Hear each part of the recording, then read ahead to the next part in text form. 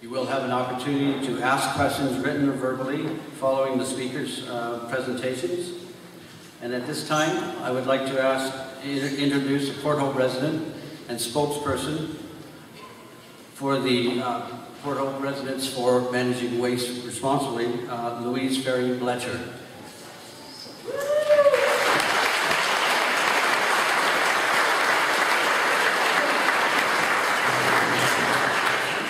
Thank you. Good evening, everyone. I would like to thank you all for coming and joining us this evening. I've been asked on behalf of our group to give you a few introductory words about the group and about our guest speakers. Our group was formed in response to learning about a private for-profit company called Renewable Energy Management and their proposal to build a waste burning facility in the municipality of Port Hope on Wesleyville Road, south of the 401. The focus of our group is to prevent this facility from being built and to find other ways to responsibly manage our community's waste. REM has been communicating with our town staff and officials since approximately 2009. However, many of us did not learn about this until quite recently. We feel that information provided about this proposal has been unclear, left many questions unanswered, and provided contradictory information about the concerns we have raised. One such example relates to our questions about what exactly will be burned and how much garbage will be burned. This information keeps changing. REM reported, REM reported to our local media in 2009 that they proposed to burn up to 540,000 tons of garbage per year. REM then claimed in their application, which was filed in January of this year, that they plan to burn 200,000 tons of garbage a year. At the public open houses they held they proposed 200,000 tons for the first line with, with uh, lines to other lines to follow.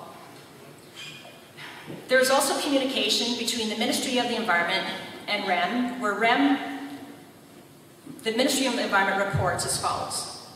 The Ministry of the Environment is working with REM through its Kingston office on the environmental screening process for the proposed Wesleyville facility with a planned capacity of 600,000 metric tons per year. This was dated last year. Or is it, as REM stated in the advertisement they took out in the local newspaper, the Northumberland Today, on Monday, that 165,000 tons per year will be processed? I think you can understand our confusion. REM states on its website that those opposed to its company and this technology are well-meaning but misinformed and misguided. Well, our local group of farmers, business owners and employees, engineers, medical doctors, teachers, landscapers, basically people like you and me from all walks of life in this community decided that we need to better inform ourselves and inform the public about this industry of burning garbage, whether by incineration, gasifying, plasma burning, pyrolysis, whatever they're calling it. What does it all mean? So we can decide if this is what we want in our community. It is for this reason that we have invited a world expert to join us and to inform us about this. Dr. Paul Connett is a graduate of Cambridge University and holds a PhD in chemistry from Dartmouth College. From 1983 until his retirement in 2006, he taught chemistry at St. Lawrence University in Canton, New York. He specialized in environmental chemistry and toxicology. Over the past 28 years, his research on waste management has taken him to over 49 states in the United States, seven provinces in Canada, and 57 countries where he has given over 2,500 pro bono public presentations on his opposition to incineration as a method of managing solid waste. He has based this on his chemical analysis of the byproducts of the process. In 2010, Dr. Connett gave, his two, gave two presentations on zero waste to the United Nations Commission on Sustainable Development. Dr. Connett is often called upon as an expert witness in court cases and has also published extensively on this topic of incineration and on another area of his expertise, which is on fluoridation. in order to address those who believe that our group's only goal is to not have this facility built in our backyard, we counter this by saying we do not support this type of waste facility to be built in anybody's backyard. In researching the alternatives to burning garbage, we wanted to find out whether there are, are alternatives that we can consider and find some that will be a better fit in our community. We know we all create garbage, and we need to manage it. But Port Hope creates approximately 5,000 tons of garbage a year. Northumberland County produces about 32,000 tons of garbage a year. We need solutions to determine if there are ways to reduce the waste we create, how to manage the waste, and how to manage this in our community. In order to discuss the alternatives to burning waste, we have invited Ms. Claudia Marsales to join us this evening. She hasn't arrived yet, and we do hope she does. I'm not sure if she has some traffic problems on the way. But Ms. Marsales is the Senior Manager for Waste and Environmental Management for the City of Markham. As the Manager of Environmental Policy and Program Development, Ms. Marsales and her staff are working to divert 80% of Markham's waste from landfill by 2014. We hope she comes so she can share with us the challenges and the successes in her community. As we've gathered to hear our guest speakers, I will hand the floor to Dr. Connett to commence, and after that we will have a question and answer period for you.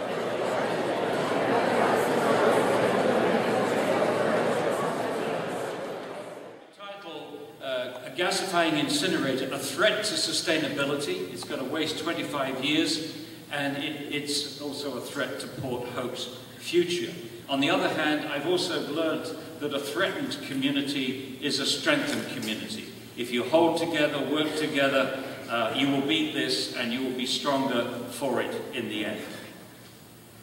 So, the outline of my talk first, a few words about sustainability.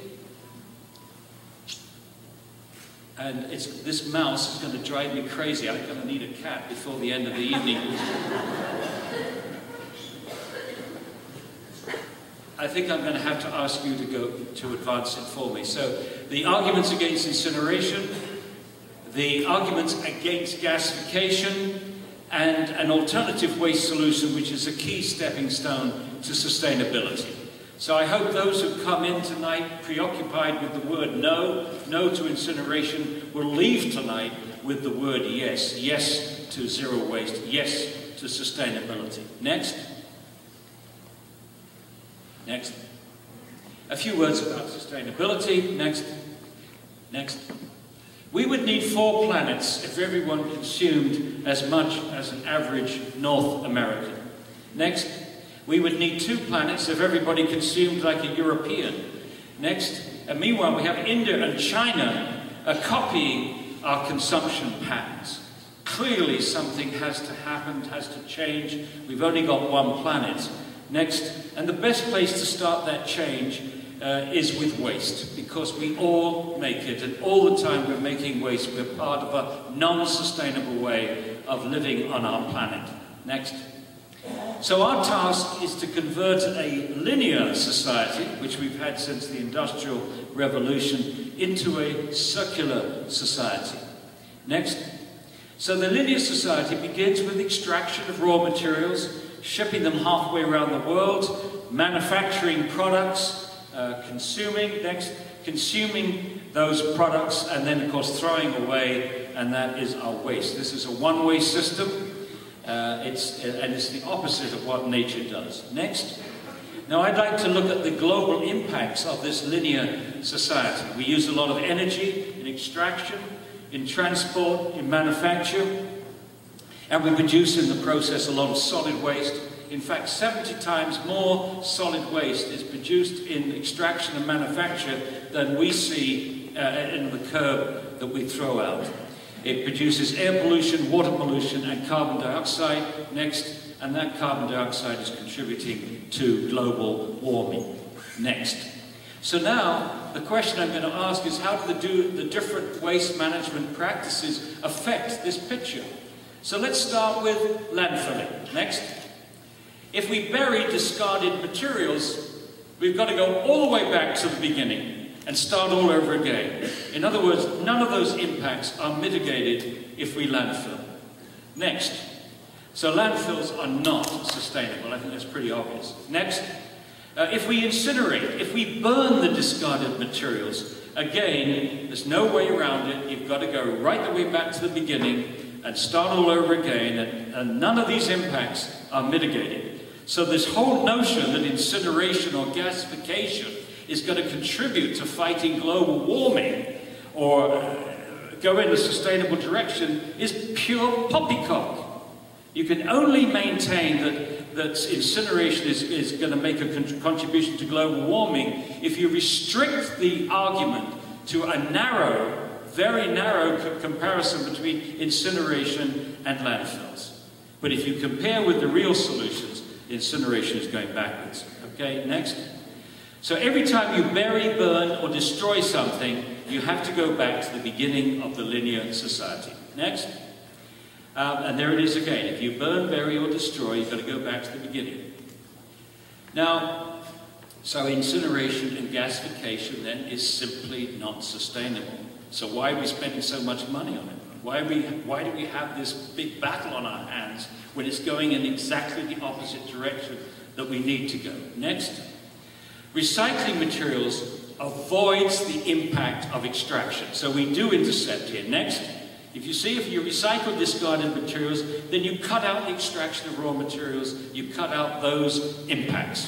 Very good. Okay, next.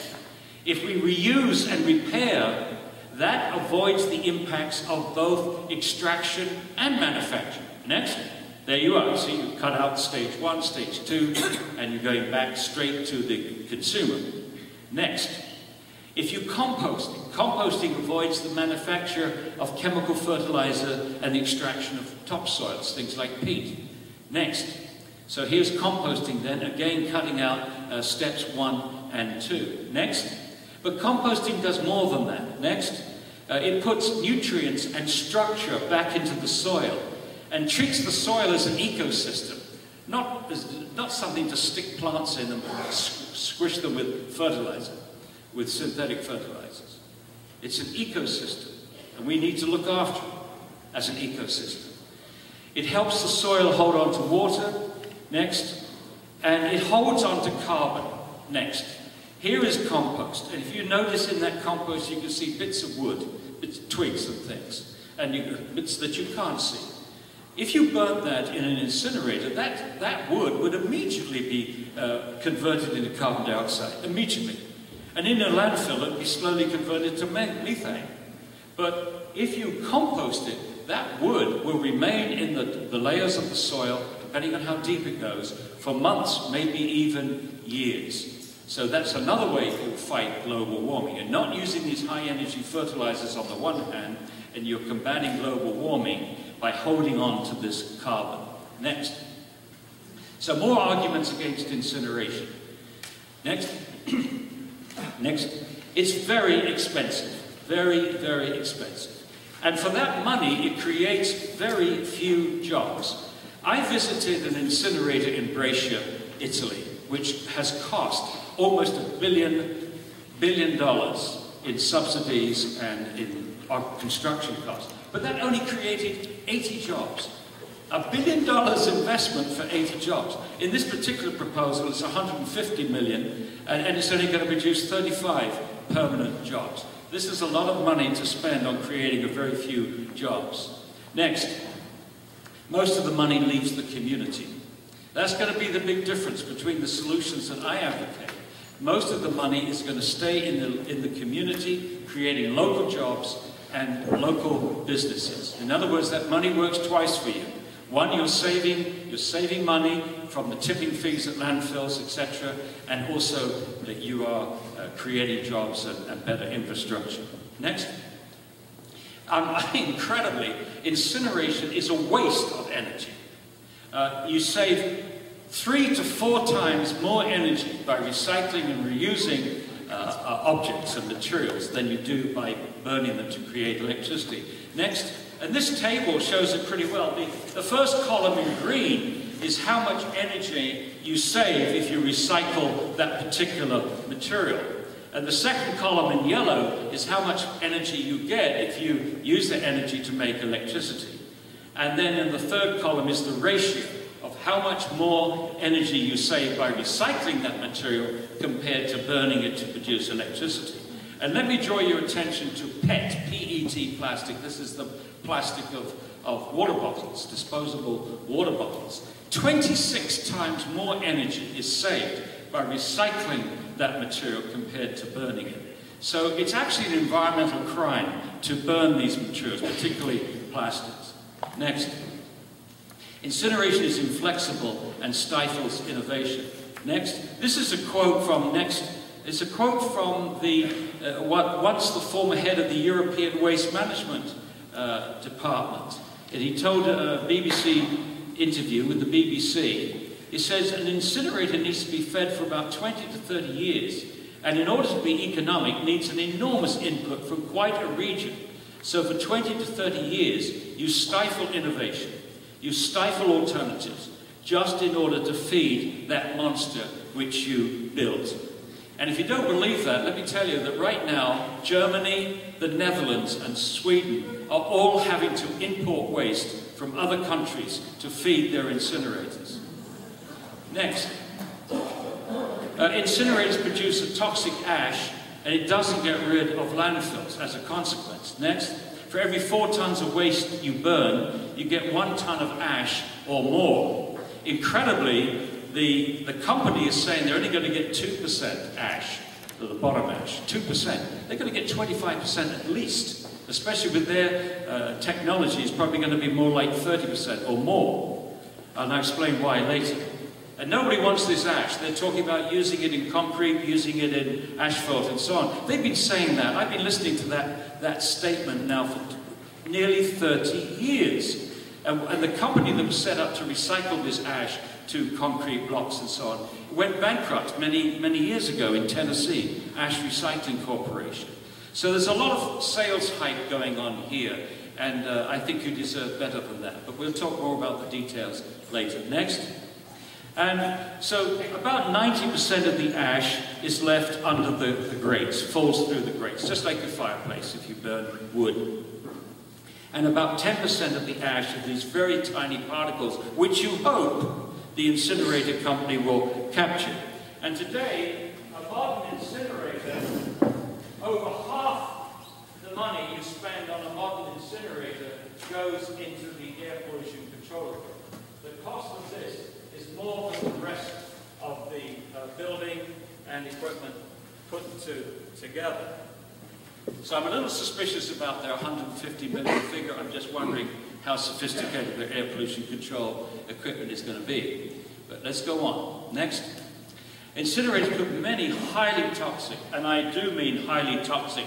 This was the shock for me 28 years ago to find out that incinerators actually put out the most toxic substances that we've ever been able to make in a chemical laboratory. That was quite a shock. Next. Um, the, the toxics that come out, we get acid gases. Next, we get toxic metals. Uh, the toxic metals are elements, they cannot be destroyed. The best that you can hope for is they're going to end up in the ash, but then you have to treat that as a hazardous waste if you're successful. The worst, of course, is they go into the air and poison us. And then in the process of burning, we also produce literally thousands, thousands of new compounds, including these dioxins and furans. Next, yeah, just a few words about dioxins, because it's, it's quite a disturbing picture. Uh, dioxins accumulate in animal fat. Um, I did a paper with Tom Webster back in 1987. We calculated that one liter of cow's milk gives the same dose of dioxin as breathing the air next to the cows for eight months. Now, I don't know why anybody would want to breathe the air next to a cow or stand in a field for eight months, but if you did that, that's how long it would take you to, to get the same amount of dioxin that the cow's getting by eating the grass. Next. Now, in Germany, uh, the, the calculations there in one day, and this was based upon measurements, experimental measurements, in one day, a grazing cow puts as much dioxin into a, its body as a human being would get in 14 years of breathing next to the cow. Now, the important point here is that when you see pictures of incinerators, they usually have these tall chimneys. And everybody looks at those tall chimneys and says, ah, we'll get dilution, we'll get dispersion. But what they're forgetting is that Mother Nature reconcentrates those pollutants when they land in lakes and get into the fish, the aquatic system, or when they land in fields and get into cows or sheep or goats or chickens. They reconcentrate. And that's where we're going to get most of these pollutants, not through our air, but in our food. Next. Oh, that's incidentally why you do not want to build an incinerator in prime farmland. Next, dioxins steadily accumulate in human body fat. Now, the man cannot get rid of them. The liver cannot process these, process these um, things like dioxins from furans. And so, uh, and the, usually the processing by the liver converts them to water-soluble substance, and then, then you can excrete them through the kidney. But if you can't do that conversion from fat-soluble to water-soluble, then they just simply accumulate in our fat. Now, for the man, it doesn't seem to make a huge difference. We accumulate them over a lifetime. But for a woman, she has a way of getting rid of these dioxins uh, by having a baby. So when she has a baby, the dioxins that she's accumulated in her body fat for 20 years, 25 years, 30 years, whenever she has that baby, is going to be passed on to the fetus. In nine months, the dioxins move from her fat to the fetus. And all of a sudden, we've got this tiny, tiny, uh, almost a human being that's getting a, a, a concentration hundreds of times, thousands of times greater than we as adults are exposed to. This is the key issue. Next. And thus the highest dose of dioxin goes to the fetus and then to the breastfed baby. Next. Next. now the dioxins act like fat-soluble hormones. Next. And they disrupt male and female sex hormones, thyroid hormones, insulin, gastrin, and glucocorticoids. So we're concerned about sexual development, mental development, and so on. And that's a brilliant paper by Linda Birnbaum, who's now the head of the National Institute of Environmental Health Sciences. Next. And a whole book has been written about this called Our Stolen Future by Theo Colborn and others. An excellent book, a very readable book. It's designed for uh, citizens to be able to master this disturbing subject. Next.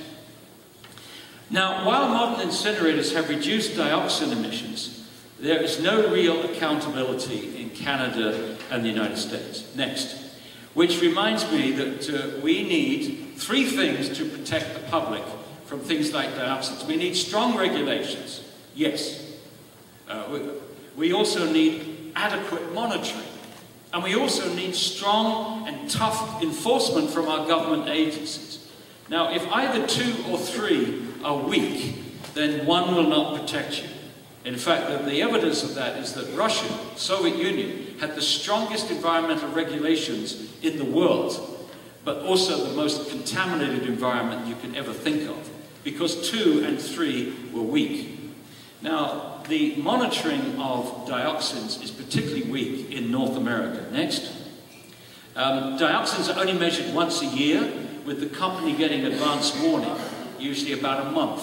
And then after a month, the, the laboratory comes in, they collect three six-hour tests under ideal conditions. In fact, if there's an upset during the testing, then they stop the test. So they get 18 hours of ideal data, which are then used to estimate 8,000 hours of real uh, operation.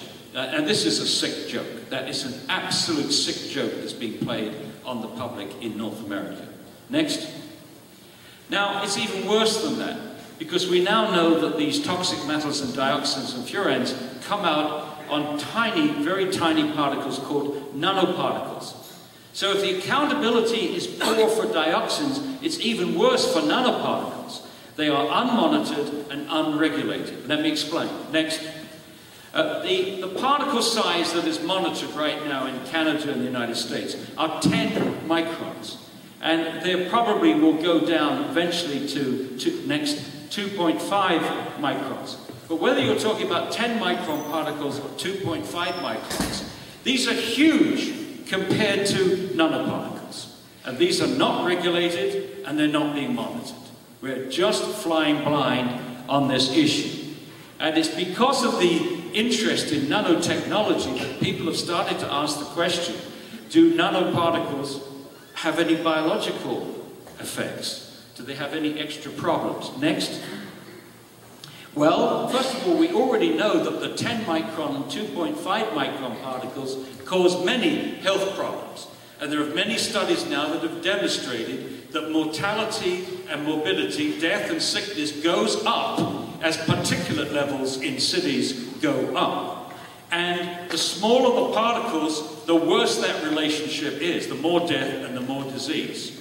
And now, that's, the, that's what we know. And I think it's every reason to believe that nanoparticles will, will cause even more effects than we're seeing. Next.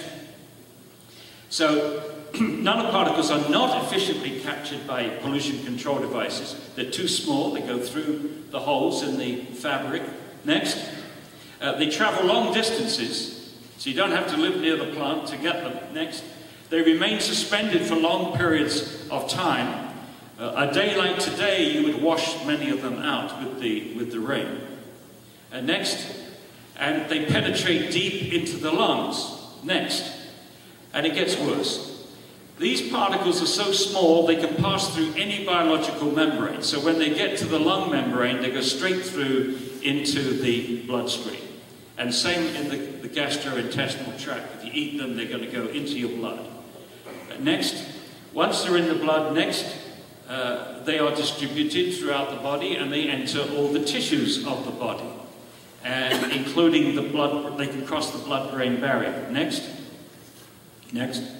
And here, in fact, is a particle in the brain, and it's from Italy.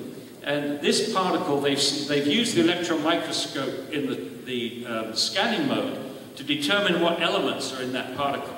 And the the elements are, are lead, barium, chromium, iron, and silicon. And believe me, you really don't want those elements in your brain. Next. Now here's an extremely important article from environmental health perspectives by Stephanie Cormier and others. And I have never seen a, a, a scientific response to that from industry about what they're going to do with this, do with this problem. Next.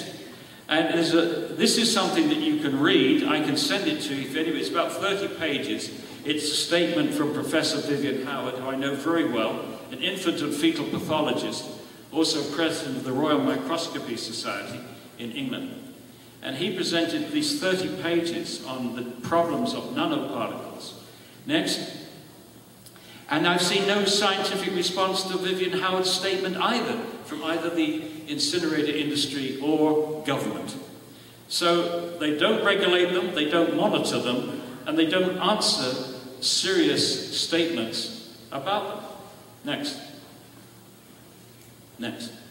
The arguments against gasification. Next.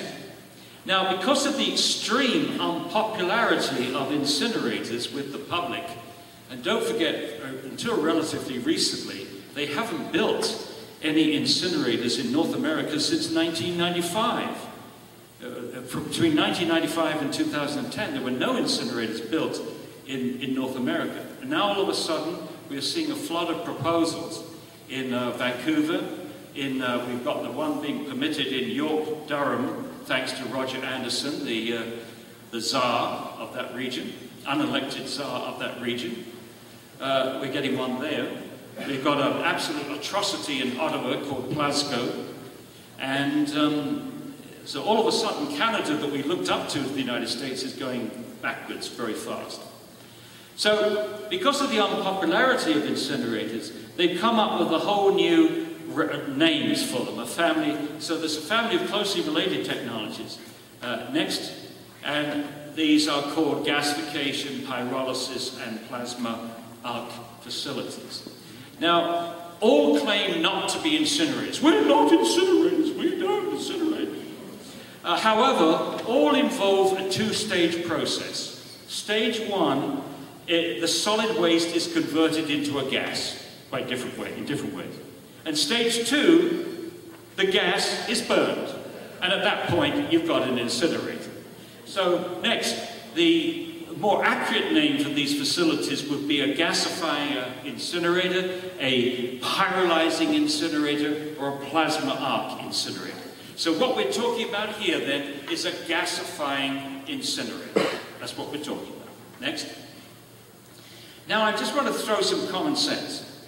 If this was a good economic development, every community would want one. I mean, every community wants jobs, every community wants economic development. Okay? So if this was really good, um, everybody would want one. Where's the competition? Where are the communities lining up in Ontario to grab this wonderful opportunity if you turn it down? I don't think you'll find that competition. Next. How many tons of waste does Port Hope make? Next. Uh, the company's figure, figures about how much waste is going to handle is all over the place, as Louise mentioned. It's all over the place. Why? If this is a serious proposal, they should know how many tons of waste they're going to burn. And they should be able to tell us where they've done it somewhere else. Okay, well, let's go on. Um, Ontario Ministry of the Environment refers to handling capacity of 600,000 metric tons per year, August the 3rd, 2011. Next. The company today, or yesterday, uh, refers to 165,000 tons per year. That's a big change, isn't it? Next. Now, 165 tons per year, they talk about 20% recycling. That would leave 130,000 tons uh, per year for burning. Let's do some arithmetic. Next. Ash will be 25%, at least 25%. So you're going to get 32,500 tons of ash each year from this facility. Next. Now, Port Hope produces 5,200 tons a year of trash. So, in other words, with this facility, next, we'll produce at least six times more ash than Port Hope produces trash. Now, what that means, and about the same amount of ash as the whole county produces in trash. So, what does this mean? This means that this proposal is not meant to solve your problem. What this proposal is, is dragging Port Hope into the waste business. That's what's happening here. Next. You are not solving your own waste problem, you are going into the waste business. Next. And you are going in as a very junior partner. Next. Uh, the company will get the major share of the profits, and I don't know what inducements they've thrown around, uh, when you will take the major share of the liabilities. You will be left holding the mess that they leave behind, whether it's an ash landfill or a defunct white elephant. Next. Uh, perception is critical as far as property values are concerned. And if you get labelled as a garbage town, as you will if you start importing willy-nilly waste from all over the place, uh, receiving stuff that everybody else wants to get rid of, uh, your perception is going to be a garbage town. And what will that do to your property values? Next. Um, is such a perception switch compatible with the proud claim in your, your town's newsletter, Municipal Link? This is what they say on page one.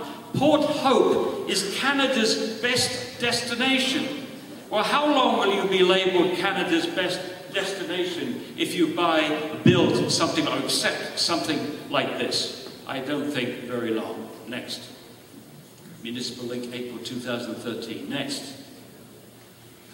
Burning or gasifying mixed waste is a very complicated process. I know of no facility in the United States that is doing it successfully right now. If there are any gasifying plants out there, then they're burning very selected waste of one kind or another. In fact, when the company refers to its operating plants in Indonesia or Singapore, if you look carefully, it's not mixed waste, it's specialized materials. So, um, you're putting your hands into a company that has an inadequate track record. Next. Has this company run a plant gasifying 100 tons of mixed waste a day, let alone the 30, 300 tons, uh, in, which in one statement they've made, it would be 300 tons. In an, if you take the Ministry of the Environment statement, it would be up to 1,200 tons a day.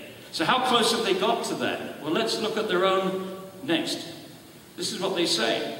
On its website, the company claims that Entech brings more than 20 years of experience, and their systems have processed upwards of 7 million tons of waste through over 16 million combined operational hours. Well, divide the top number by the bottom number, go ahead in your head. That's an average of 0.44 tons per hour or less than 11 tons a day. So their own track record says, oh, after 20 years of experience, they've only managed to, to deal with, on average, 11 tons a day. But they're talking about doing it for 300 tons a day, or even as high as 1,200 tons a day. This company is clearly trying to run before it can crawl at your expense. So there's no way that they can claim that this is anything but an experiment in their hands. Next. Now, I looked at the picture of their technology. Here it is. This is from their webpage. And I look at this, and I say, I've seen this before. I would hardly call this advanced gasification equipment. I've seen that before in the next picture. This is a dual chamber combustion unit. These facilities we chased all over the country to stop them burning. Consumat, they're building in, in Windham, Connecticut, Auburn, Maine, Portsmouth, New Hampshire. Uh, I could go on. Uh, Hampton, South Carolina. These are rinky-dink operations. Uh, they're nowhere near anything you would call uh, advanced technology. This is an embarrassment to the incinerator industry to claim that this stuff is somehow a modern breakthrough and that they're doing great green things for you. Um, let me explain, uh, I'll give you the second picture, we might have to go back one. So this is, it's dual chamber. So in the bottom chamber, they roast the, the garbage. They convert it from solid to a gas. And in the second chamber, you see that short pipe, the gas goes up, and they burn it in the second chamber. You can, you can find these things in hospitals all over the place, these dual chamber combustion units. Now, could you go back to the first slide? Yeah, there we go. Now, the reason, these were uh, built, a lot of these in the 1970s and the 1980s. I think most of them were closed down in the 1990s. But the rationale for these was that they said by not burning the waste here, not burning it here, but heating it up to drive off the gas, uh, was that you would minimize particulate emissions. And they thought in the 1970s and 1980s that this would mean that they would not need air pollution control devices to capture the particulate. And then the United States lowered the particulate standards, and they found themselves having to um, put on the air pollution control anyway.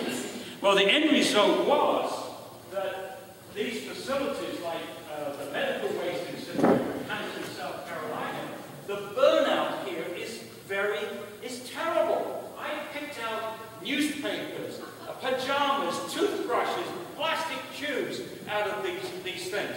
I, I, I can show the organizers here videotapes that I shot in Windham, Connecticut, Hampton, South Carolina.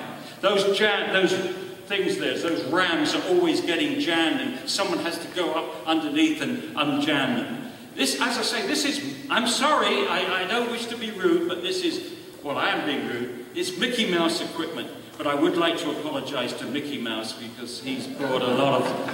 Anyway, next. This looks like a dual chamber incinerator to me. You look up Consumat. They used to build these things. Next.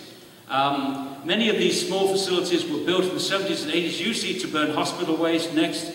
Um, this uh, Mickey Mouse stuff. Yes, yes, yes, yes. Okay. Uh, the Peel, by the way. Peel, uh, near on Toronto, has this technology. They've got five of these things in a, in a series.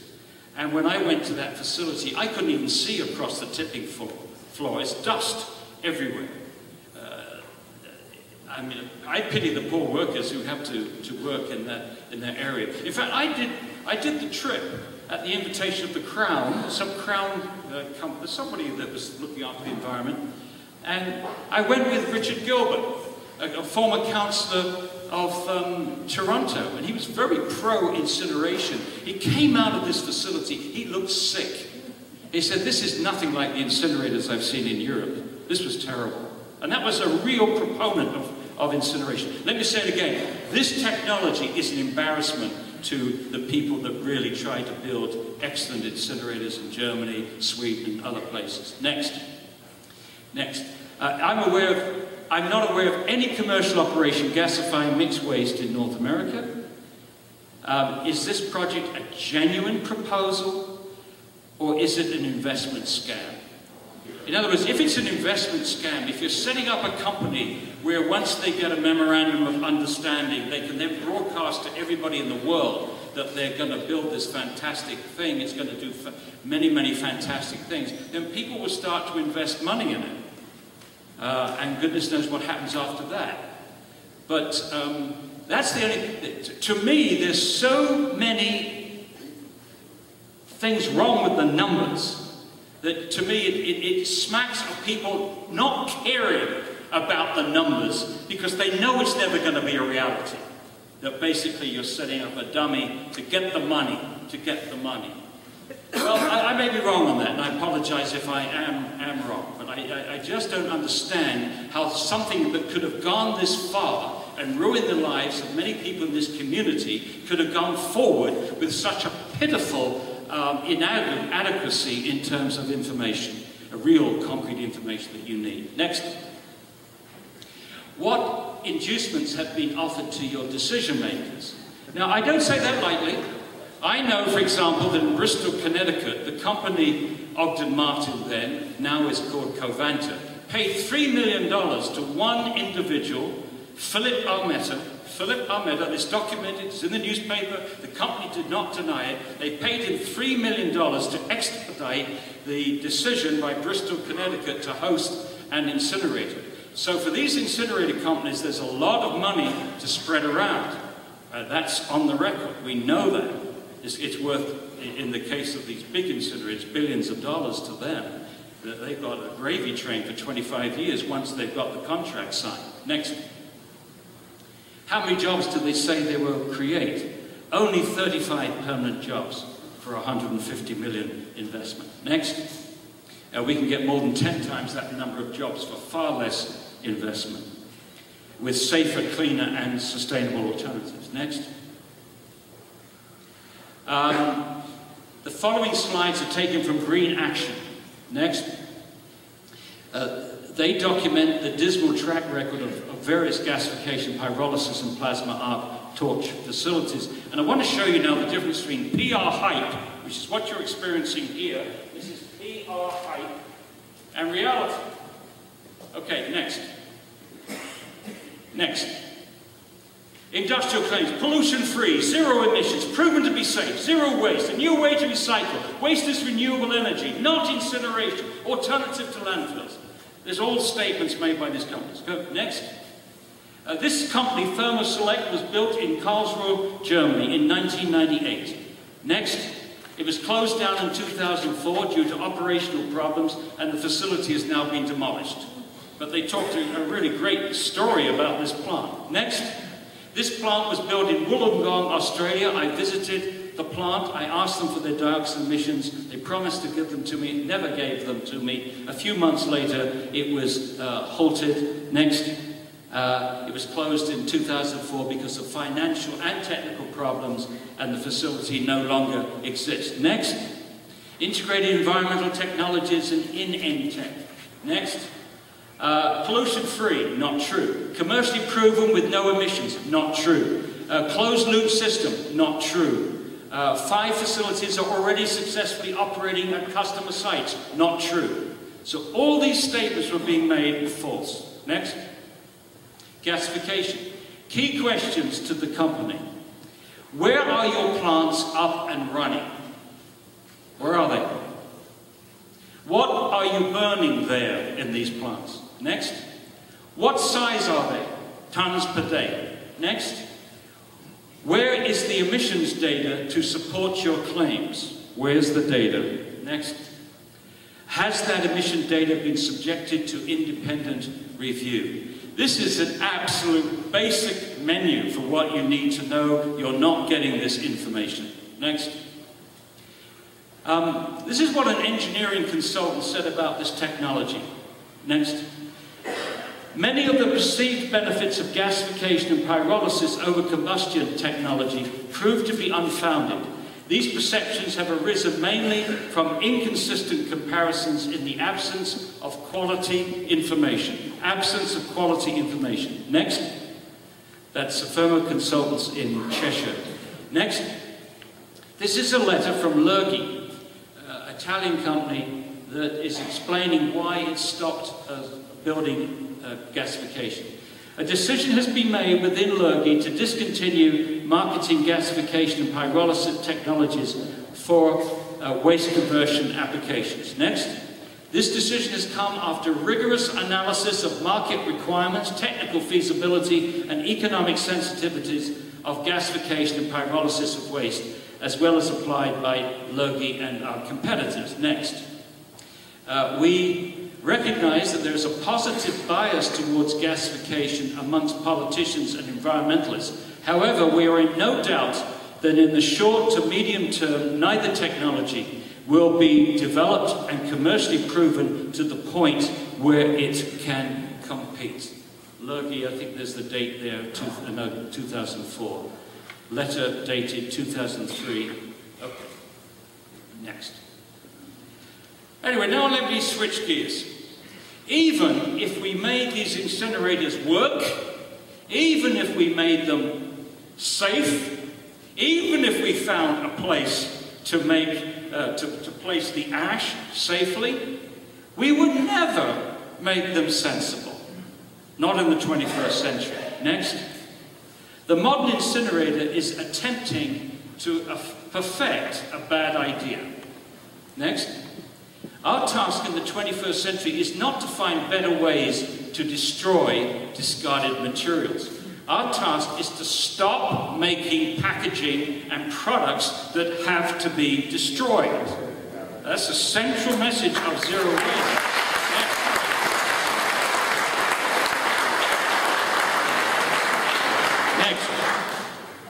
The waste problem will not be solved with better technology. There are no magic machines to solve waste. Or rather, these are the magic machines. These 10 things here. Next. Uh, but with better organization, better education, and better industrial design. Next.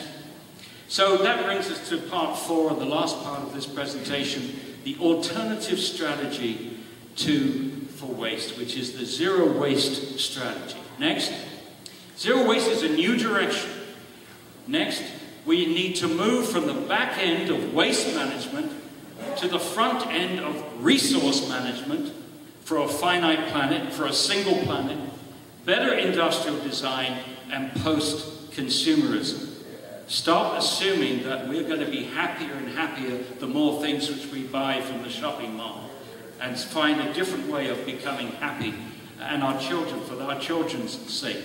Next, we need three things to get to zero waste. We need industrial responsibility at the front end, upstream. We need community responsibility at the back end, downstream. And we need good political leadership to bring these two together.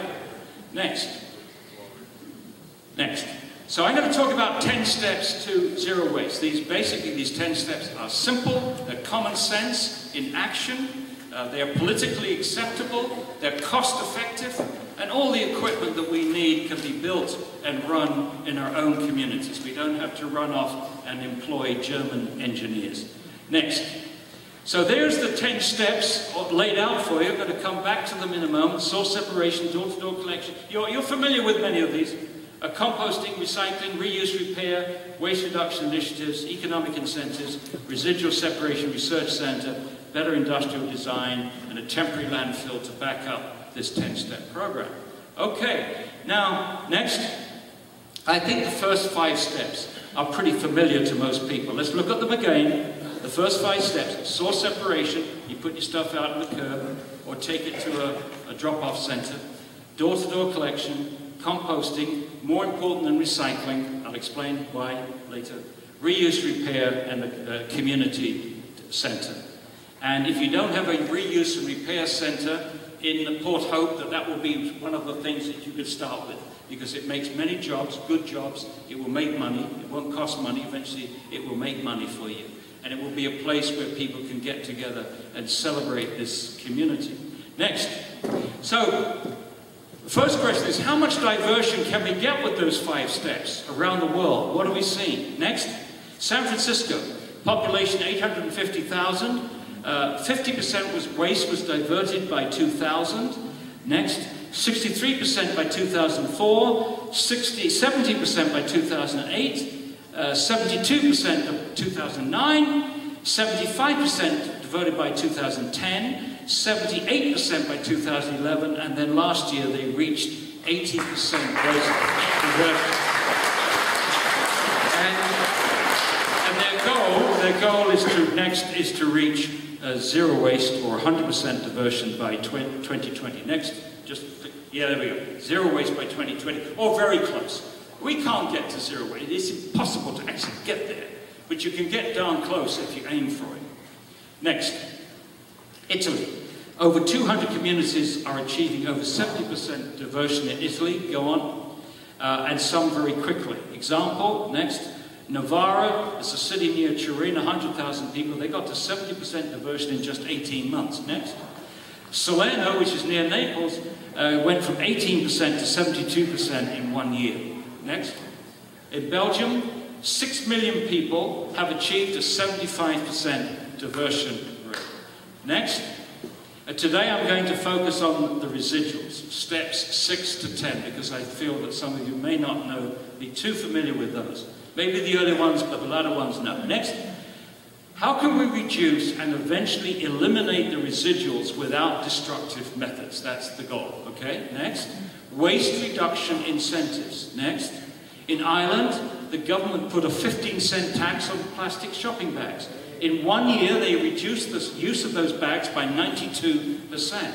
Next, in Italy, they have many supermarkets which allow you to refill your own bottles with shampoo, detergents, and so on. Next, uh, this store is one of my favorite places in Italy. It's Effecorta in Capannori near Lucca in Tuscany. Next, they have 60 taps for everything. Uh, shampoo, detergents, olive oil, milk, water, beer, um, honey. Uh, keep going. Next. And uh, here they're filling up detergents in your own bottles. Keep going. Um, olive oil. And oh, vino. This is my favorite.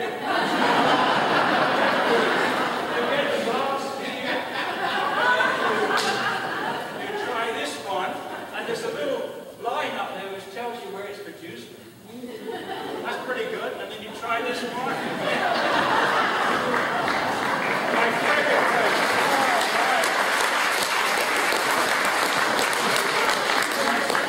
Next.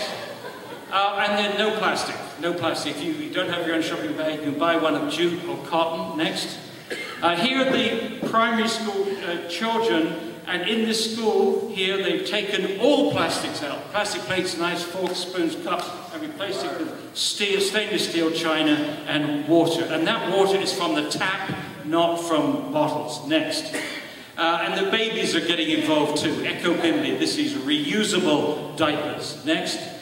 Economic incentives. This is the pay-as-you-throw system. The compostables, no surcharge. Recyclables, no surcharge. But the residuals, next, the more you make, the more you pay.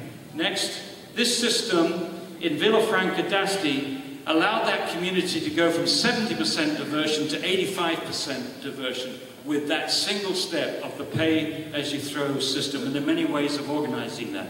Next, Spain, Usurbil in Basque Country went from 28% to 86% in seven months, using both the Italian method, the door-to-door -door collection, and um, the pay-by-bag system. Next. But now we, we've got to ask, what about the residuals? We've done everything we can. We've got the economic incentives, waste reduction initiatives. We've done all those good things, recycling, reuse. What are we going to do with the residuals now? And this is where if the company was uh, honourable, they would say, we agree with all those things that you talked about, Dr. Connett, we should do all those things first, but now, surely, you must agree to have a gasification plant. And I say, wait a moment, no, we can do something else. Step eight.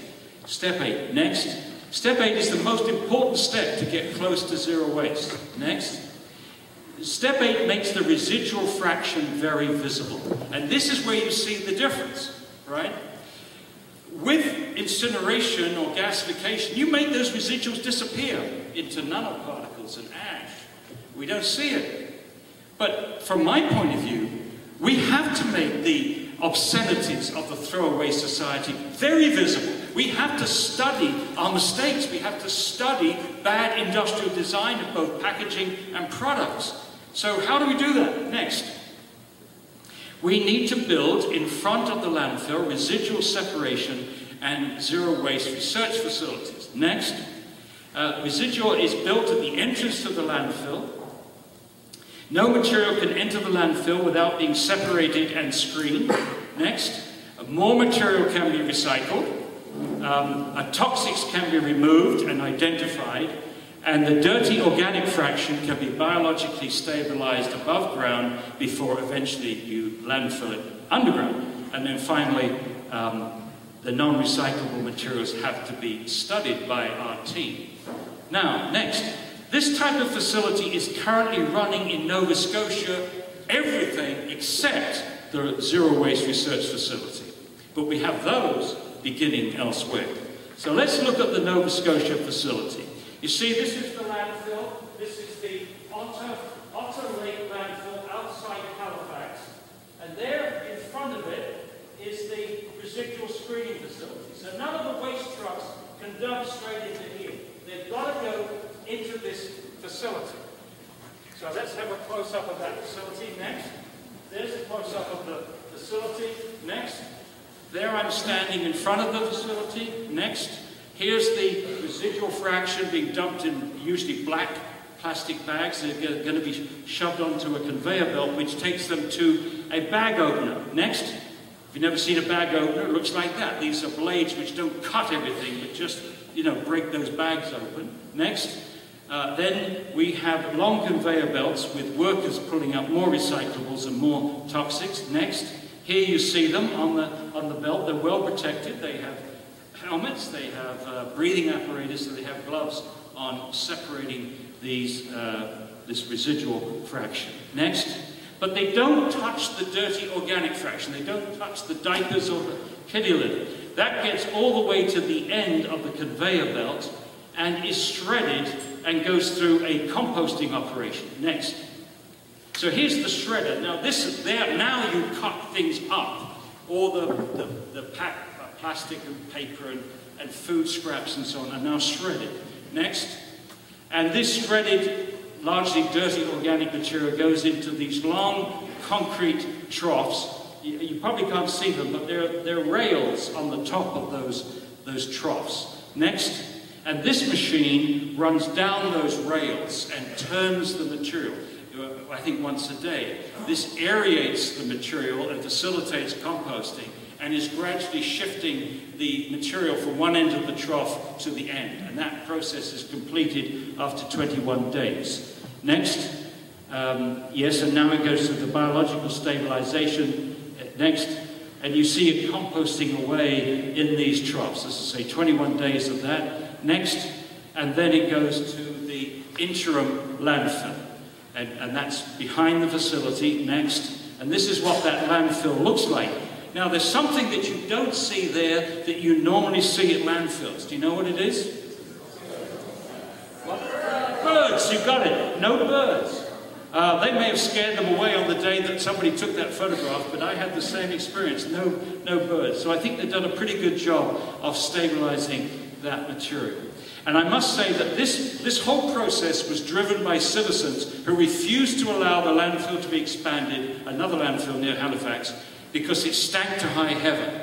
And the only way they would accept the landfill is if the organic material was separated and, and um, stabilized through a, this composting operation. This doesn't stink. Next. Next. So see, no, there's a video I've shot of this in 2000, and you can see it on AmericanHealthStudies.org, our webpage, and several other videos, tapes. Now we need to add the Zero Waste Research Center. Next. So you would put inside this facility a Zero Waste Research Center to study this non-recyclable fraction. Next. And you, ideally, we should use the local universities, the local professors and students who are interested in sustainability, industrial design, advertising, all kinds of things. Uh, that they can philosophy, all kinds of things. But this is where they get their, literally get their hands dirty. This is their laboratory to study our lack of sustainability, to study our mistakes. Next. Now, the kind of things that we would go on is, first of all, you would, you would see mistakes. You would see in this facility things there that could have been reused, could have been recycled, could have been composted if the citizens had put it in the right container. So you're going to get a message there, we've got to improve our education. Next. They could also recommend the best waste avoidance strategies from all over the world. So they'll be studying that for local businesses. Next, develop local uses for some materials, like newspapers. Shredded newspapers can be used for cattle bedding, for insulation, and so on. Next, uh, recommend better industrial designs to industry on packaging and products. That's the key focus. And lastly, um, next, uh, link with other aspects of sustainability. That's why we want the professors involved, to link with other aspects. Next. Now, nature makes no waste. You know that. And the reason it makes no waste is because she is superb at feedback mechanisms. Let me give you an example. If your body starts to produce um, a chemical or, or substance, um, um, what we call a metabolite, that for some reason the body doesn't want to use at this point, usually what happens is that metabolite will switch off the enzyme that's producing it, the series of reactions. It, it shuts it down. That's what we call a feedback mechanism. You don't want it, shut it off. We have a waste problem because we've not used feedback mechanisms.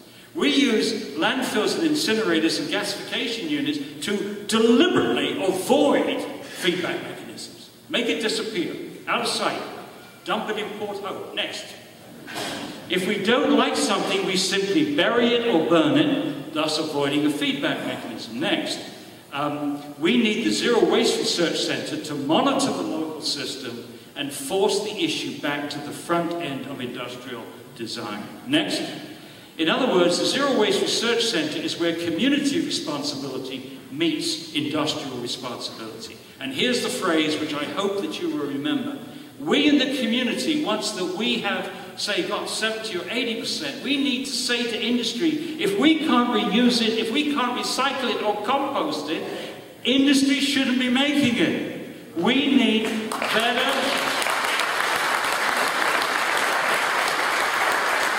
Next. We need better industrial design for the 21st century. Hey, we're not going to get to sustainability with our hands in our pockets. We're going to have to sweat this one. This is the biggest challenge that we've had to generation after generation after generation since the Industrial Revolution. It's the biggest challenge after warfare, is to find a way to live sustainably on this planet. A lot of people talk about this, but we don't have a way of doing anything about it. And here we have it on our plates uh, in our hands every day if we do the right things. Next. So I want to introduce the fourth R. This is the, probably the quickest way you can explain to people what zero waste is. You are very familiar with the first, the three R's, right? Uh, the four R's. We have the first three, reduce, reuse, recycle. Now, stop there. Now, notice something about that. That puts all the emphasis on community responsibility right? That says that we have to solve every problem regardless of what crap uh, industry decides to throw in our direction, like squeezable ketchup bottles. The, we have to deal with it. It's our responsibility. And I say, no, we need a fourth R, which is redesign. So that's industrial responsibility. We have our community responsibility, reduce, reuse, recycle, and we have industrial responsibility, redesign. Next. So here we go back to our linear society. We've got to consumption. We have to reduce, reuse, recycle, and compost what we purchase every day. Next. And we need the residual separation and research facility to put the pressure back on the manufacturer next to redesign. That's, that's how we go from the linear society to the circular society with a feedback mechanism. Next. Uh, we must involve our most creative industrial designers, our professors and students in zero waste. Next. We need better industrial design. If I have more time, I go into that. Uh, has Claudia arrived? No. Uh, Unfortunately, she's being stuck in traffic, and she's emailed to say she can't come. Somebody has just arrived from Toronto and said it's taking them three hours, so. Well, that's wonderful. Now I can take three hours. No, I, no, no, I won't. I won't. I won't. If I had more time, I'd talk about. Well, I better. I better now talk about that. Okay. So, better industrial design is part of industrial responsibility. Industrial responsibility in the 21st century means we must start designing products for sustainability. None of this built-in obsolescence. Build things to last, that's number one. Number two, we need clean production. We have to stop using toxic things like lead and mercury and cadmium and arsenic and the halogens in our products. That's the challenge. So we, we've got a role for chemists to, to do, thank God, because I'm a chemistry professor. Um, and lastly, we need extended producer responsibility for both products and packaging. Let me start with a wonderful example of extended producer responsibility by a company in Ontario. Probably the best example of internalized packaging there is in the world today, in Ontario. It is in fact the beer store. Now the beer store have, for over 60 years has been using reusable glass bottles for beer. They are, their recovery rate for those bottles is 98%. Each bottle goes around 18 times, and it's saving the company a lot of money. It's cheaper. And there are 2,000 jobs involved, and there is no community in Ontario has the problem of dealing with beer bottles. It's all being done by the beer industry itself, and that's been going on for 60 years. Uh, saving money, creating jobs, this is an example of zero waste. For those who say it's impossible, it's happening. It's been happening all those years. Now, an example of, of zero waste with a company that makes products is the Xerox company. The Xerox company in Europe is recovering copying machines, old copying machines, eh, from 21 different countries. The same trucks which take new machines in one direction bring old machines in the opposite direction. They're taken to huge warehouses in Venray, Netherlands, and Dundalk in Ireland, and these machines are stripped down.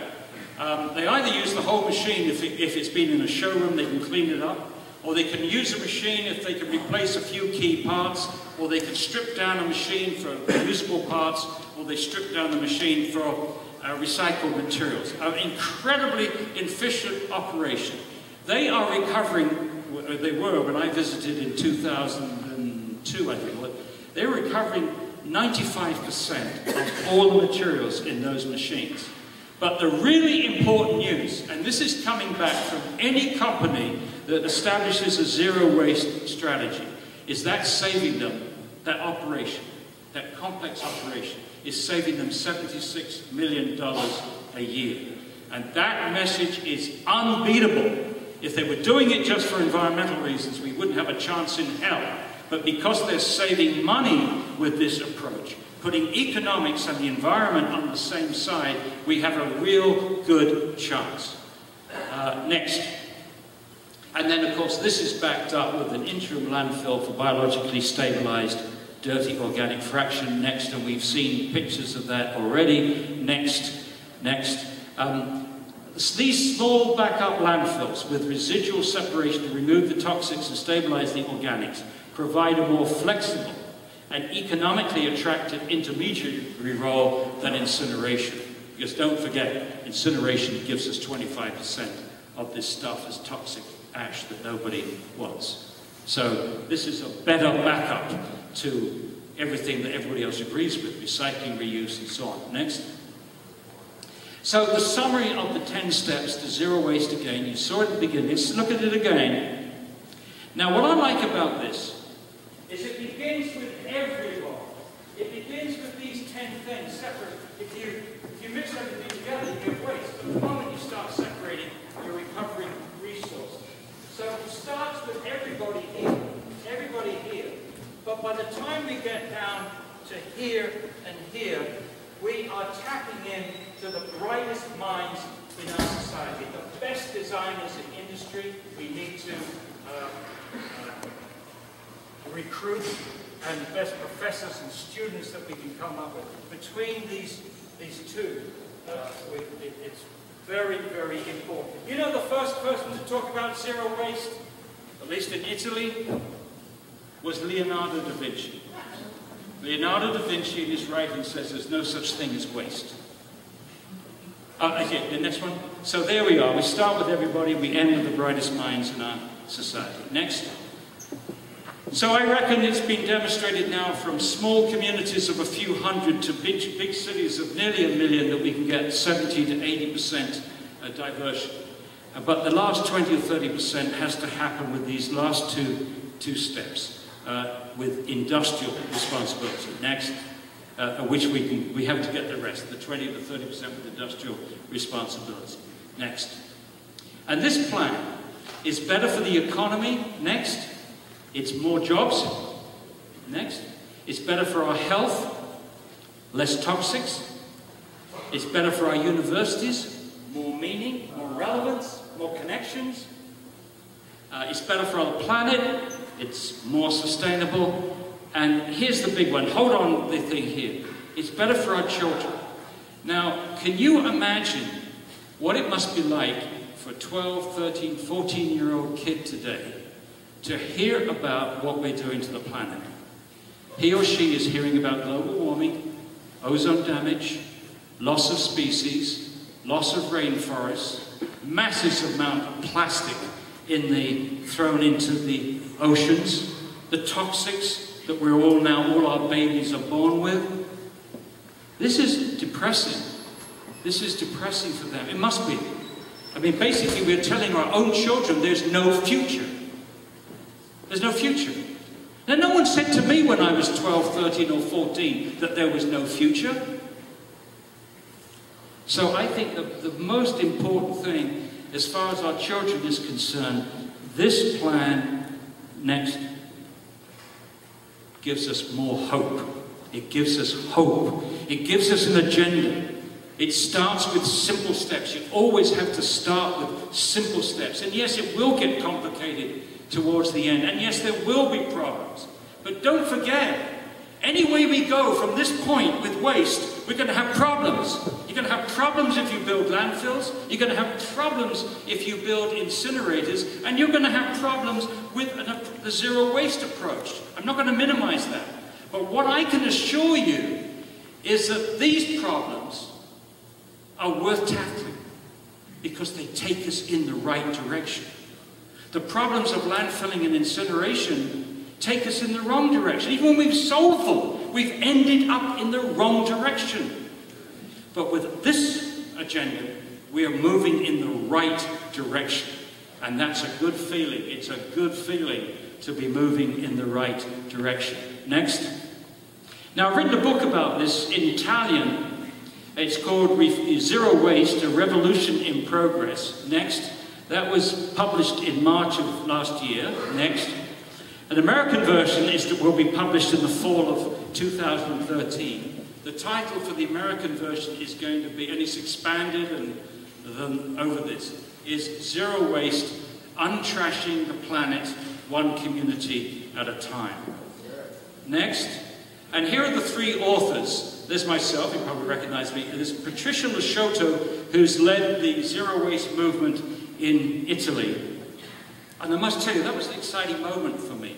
I spoke in 240 different cities in Italy in, in 58 visits there. Someone's got to do it, you know, drink all that vino rosso. Anyway, um, and I get invited to communities to help them fight incinerators, like here.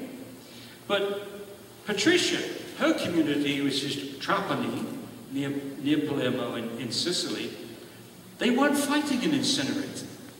And it turned out that they were interested to hear about zero waste because they wanted their community to move in a sustainable direction. And so you've got this negative, what if you like, saying no to incineration is morphing in Italy to a yes to zero waste. It is the, right now, it's the best country in the world as far as movement on the zero waste is concerned. Now, what I'm getting round to last week, the son Rossano Ercolini, who's a primary school teacher, you saw his primary school students. Last week he won the Goldman Prize for Europe for 2013 because of his work with the zero waste movement, and nobody deserved it better than him. He's a primary school teacher the, during the day, and he's spending every afternoon and evening organizing the whole of Italy. He's an amazing person. Next, final thoughts. Affecting change. Affecting change is like driving a nail through a piece of wood. Next, the experts can sharpen the nail like me. Tonight, I hope I've sharpened a few nails. I've given you a few arguments, a few scientific arguments, a few common sense arguments, and so on. But I can't. The expert can next, next. The expert can't push that nail through the piece of wood. You need the hammer of public opinion to drive that nail home. So my job is to give you the ammunition. Your job is to use it. You can, with this kind of attendance tonight, you can stop this. You will stop this. I've never seen uh, a turnout this large which has not beaten the decision.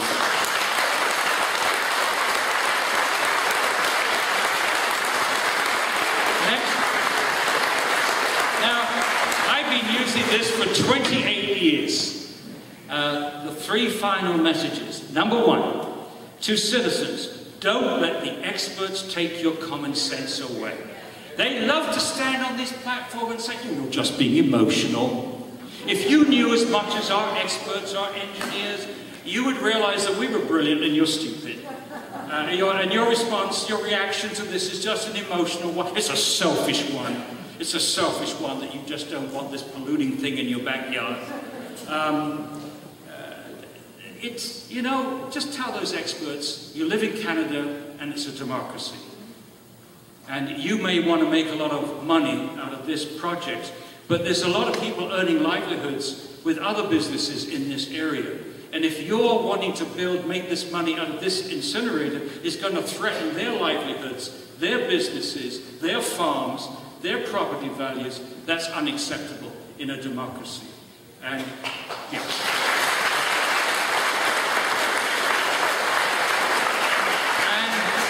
the most important thing I want to get across to you. This is the best time to beat this project, when it's still in the democratic process. Beware of decision makers who say to you, don't worry about the environmental stuff, that will be taken care of by the Ontario Ministry of the Environment or this agency and so on.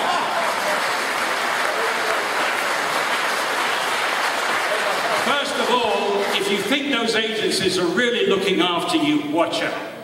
Um, you're going to learn that this the hard way. But the important thing is when, the, when that decision maker says that, they are changing this. They're moving the decision from the democratic process to the bureaucratic process. And I can assure you, having spent or wasted 28 years of my life going through environmental impact statements, risk, human risk assessments, and so on, you can work your tail off going through those things. And you can come back with really good arguments, but you'll still get screwed. and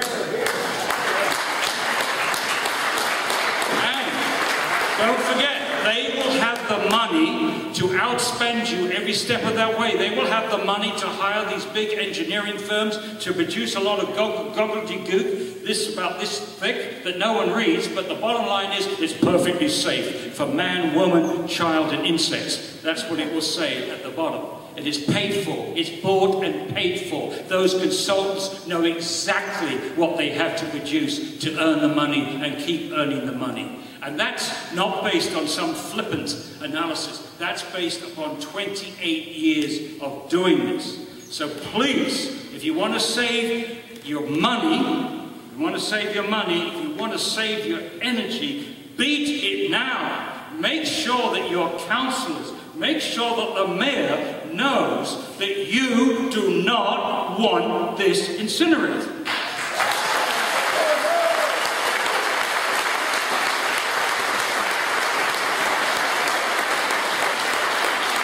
You know, we fought the incinerator proposal in our county, St. Lawrence County, for five and a half years. And I remember there was this big, big public meeting with the council. And coming to the microphone was a professor of philosophy. I thought, wow, Baylor Johnson, Baylor, what are you going to say? You know, I was just looking forward to this because he was well respected in the university, well respected in town. And he got to the microphone and he said, when are you going to realize that we just don't want it? We don't want it. We don't want it. We it. That's all he said. But it was a thrilling speech.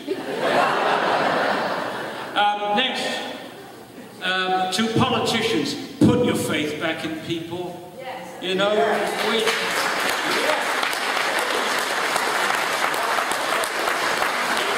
They think the safe way is to go with the engineers, to go with these big machines, to go with high-paid consultants. No, as far as waste is concerned, we are the key players here, human beings. And you've got to trust us. You've got to trust us that we're going to do certain things because we care about our kids. We care about our grandkids. We care about our community. We care about our planet. And yes, we will make a few little sacrifices, change habits to do all that if we get the good leadership from, from you and you resist the, the, the, the lazy solutions like incineration.